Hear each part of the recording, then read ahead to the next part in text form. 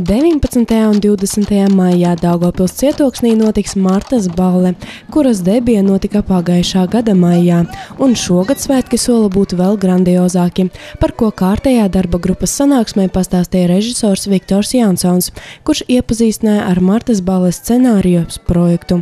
Vārdu sakot, mūsu pilsētā muzeja naktī būs ko paskatīties, un ik viens varēs sev atrast tīkamu nodarbi. Piemēram, izmēģināt savus spēkus komandu kvestā katru Katrīnas dārgumi cietoksnī, kurš atradīs tos, to gaidīs cieņa un slava. 19. maijs Daugopilī cietoksnī tiks sastādīts tematiskajās zonās, arī bērniem, kurus izklaidēs divas animatoru grupas. Festivāla viesiem būs iespēja piedalīties daudzās meistarklasēs un redzēt uguns un ziepju burbuļu šovu, apskatīt vasaras dārzā dzīvās skulptūras un ne tikai. Karnevāla parādi, kurā piedalīsies visas deju grupas, mūzikas grupas personāži kostīmos un karietes.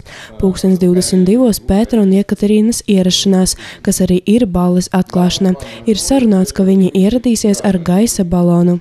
Visa festivāla laikā cietoksnī darbosies krāmu tirgus, kā arī amatnieku darbnīcas. Vienā no tām būs iespējams apgūt grāmatas siešanas prasmes. Martas balles populārie viesi būs Baltkrievijas operas solisti, un svētki beigsies ar grandiozu deju flashmobu. Pēc svētdien 20. maijā Martas balle pametīs cietoksni un ieņems pilsētas centru, kur notiks pārtikas un ielas muzikantu festivāls. Šodien es beidzot esmu tā diezgan apmierināts, jo beidzot ir parādījies scenārijs, lai arī drusku tādā zaļā variantā.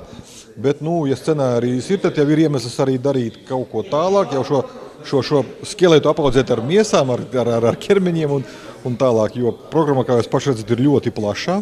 Sākot ar krāmu tirdziņu un beidzot pat ar gaisa baloniem, ja izdosies. Viss notiek. Es domāju, ka būs ļoti interesanti. Pat ja ne simtprocentīgi viss sanāks, vienalga tas būs interesanti. Un šī informācija nākamajiem jaunlaulātajiem 19. maijā visiem pāriem būs iespēja noslēgt laulības savienību Daugopils cietoksnī uz tilta blakus Nikolēja vārtiem.